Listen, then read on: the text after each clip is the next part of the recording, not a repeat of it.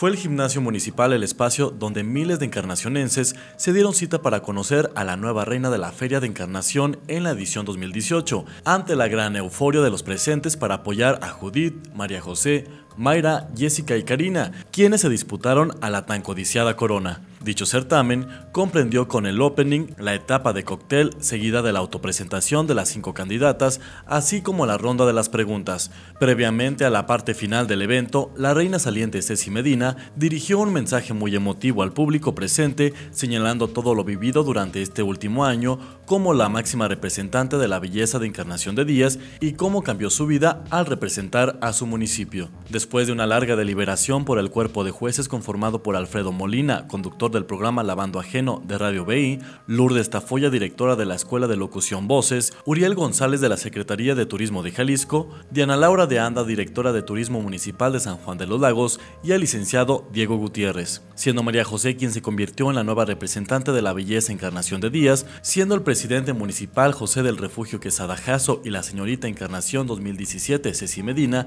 quienes le colocaron la banda y la corona a la reina, siendo además de que Karina y Jessica fueran la segunda y primer princesa respectivamente. Cerrando el evento se tuvo la presencia musical del grupo Rake, quien por dos horas interpretaron temas como Peligro, Yo quisiera y Creo en ti.